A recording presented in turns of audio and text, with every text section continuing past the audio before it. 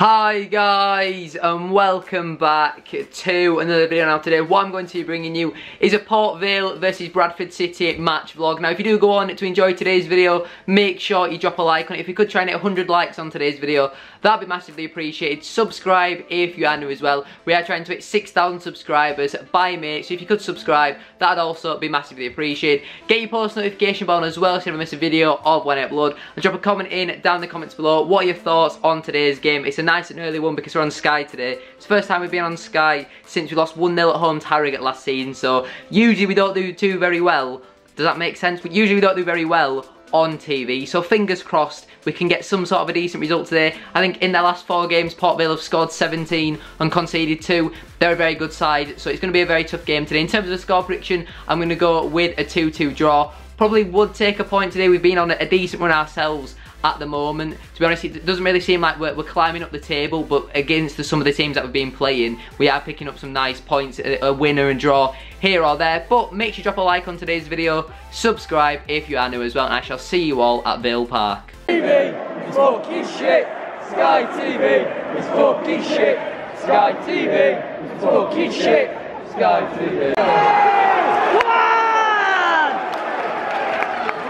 Wanna go home, I wanna go home. Port Vale's a shithole, I wanna go home. Better than this, Bradford's a shithole, it's better than this.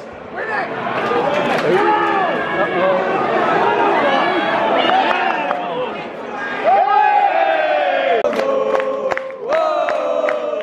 It's the youth, Theo Robinson. City loves you more than you will know. Whoa! Sexy, we do. Oh, sexy, we love you. Love you sexy, we do. Love you sexy, we do. Oh, Theo, Theo, Theo, Theo, Theo, Theo. Oh yeah, 100%.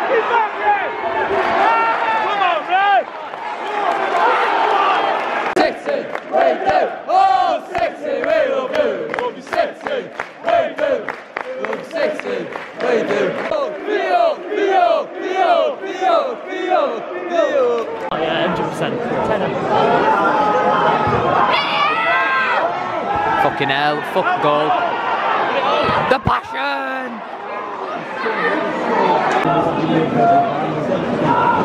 Fucking hell. Shit. No, that's not nice. what? Nice ref, mate. What? Get up, you fuck. Nice ref. On goal! Well done, fair. Half time, nil nil. Pretty boring half to be fair. Half time,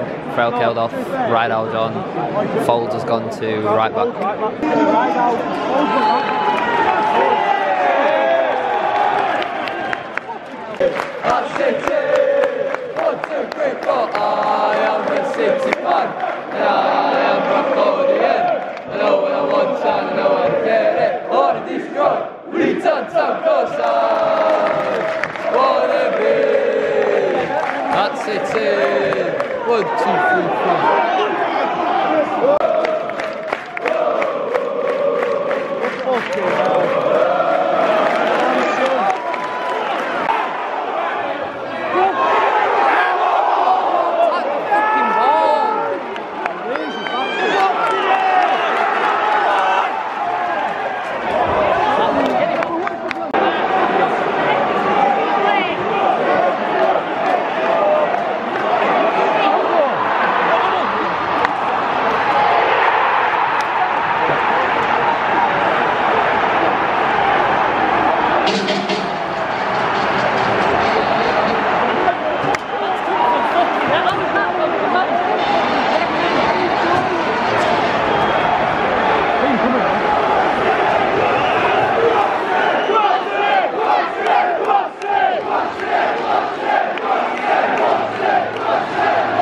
Double change, Cook and Angol on for Songo and Robinson.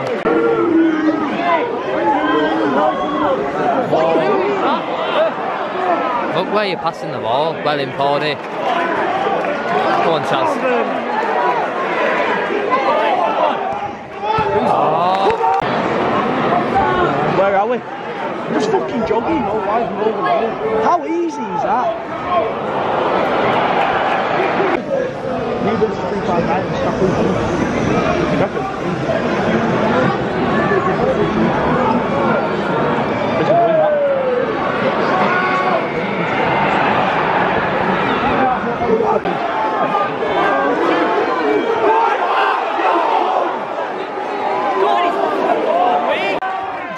Go on.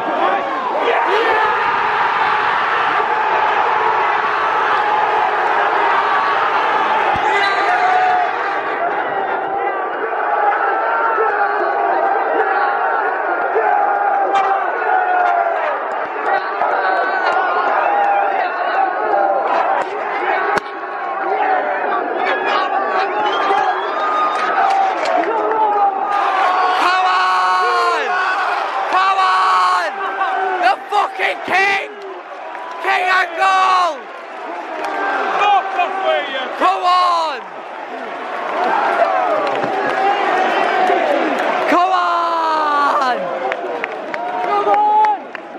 Yeah, who are ya? Who are ya? Who are ya? Who are ya? Who are ya? Who are ya? Bradford City.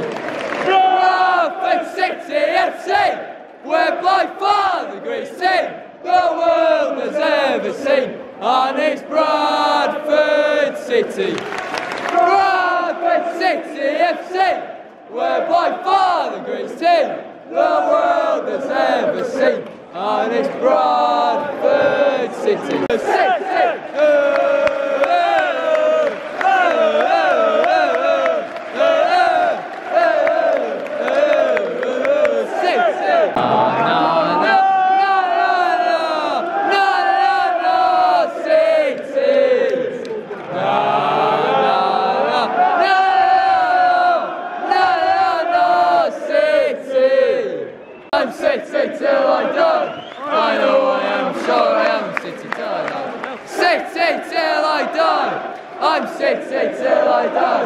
I know I am, sure I am City till I die. City till I die.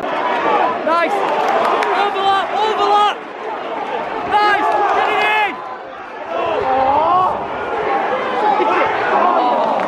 Come on, City! Come on, City! Come on, City! Fra mig! Bra fra mig! Bra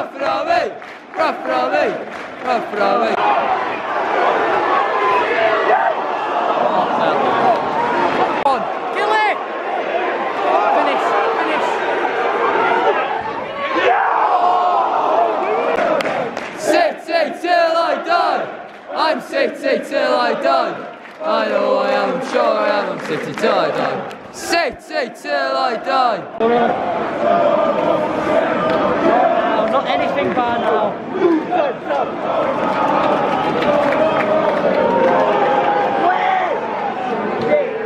Yes. We take that. We take that. We were terrible up until we scored. We'll take that. Not the end of the world. We had to fucking work for that though.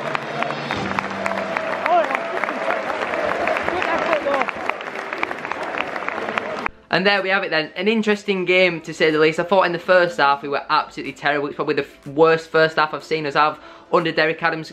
Thankfully, we defended very well. I mean, maybe the Hartlepool home game was worse, but it was definitely not a great display in that first half. Nothing was sticking up front. We were just kind of lumping it up to Vernam and Robinson and expecting them to win it. Um, so we got into half time with nil-nil, which you know I would have taken that considering the balance of play. Port Vale were pretty much all over us. We had some good chances here or there. Robinson and Vernam had some good chances, but this really snatched at them, especially Vernam. He should be doing a lot better with his chance. Then we got into half time. We were forced pretty much into a substitution. Threlkeld comes off for Ridehalgh. Fold goes over to right wing back, which I don't think he's ever played before in his career. Uh, obviously had to go off because he was one probably slight foul away from being sent off. I don't know why he's so clumsy, and I've spoke about Threlkeld enough. You all, you guys all know my thoughts on him. Was great in pre-season. Since his injury at Exeter, he just doesn't look the same to be honest. But moving on to the second half, Port Vale's goal, I just still can't believe how they've managed to score from it. We have two open goals. Vernam slices the shot. Robinson can't quite get onto the end of it. They go up the other end, and I think it's Foulds and Paudie just let him run across too easily. Songo misses the ball. Canavan stops running. Everyone kind of just stands there and waits for O'Donnell, who saves it. Who, who, by the way, probably his best game of the season so far. O'Donnell was absolutely fantastic. Credits where credits due. He made two world-class saves in the first half. Made some decent save in the second half as well. But unfortunately, the ball falls straight back to Wilson, who's there to tap in. Then, with about 15 minutes left to go, uh, we have an opportunity on the right-hand side. Matty Foulds on that left foot swings a great ball in, and Lee Angol with a fantastic header puts it into the back of the net, sends the Bradford City fans into absolute disarray. It was absolutely fantastic scenes in that away end. And to say it was only an equaliser, if we'd have managed to grab a winner, I can't even imagine think what that away end would have looked like. But yeah guys, that is where I am going to leave today's video. If you have enjoyed, a like as always would be massively appreciated. As said at the start of today's video, if we could hit 100 likes on it, that would be absolutely class. Subscribe if you are new as well. We are now on the road to 6,000 subscribers. Trying to hit 6k by so if you could subscribe, that'd be greatly appreciated. Get your post notification bell as well to never miss a video of when I upload. Drop a comment in down in the comment section down below. What are your thoughts on today's game? How do you think we played? Port Vale fans, let me know as well your thoughts down in the comments below. How do you think you played as well? Share the video around with your family and friends. Have a great rest of your day and I shall see you all soon for another video. Peace.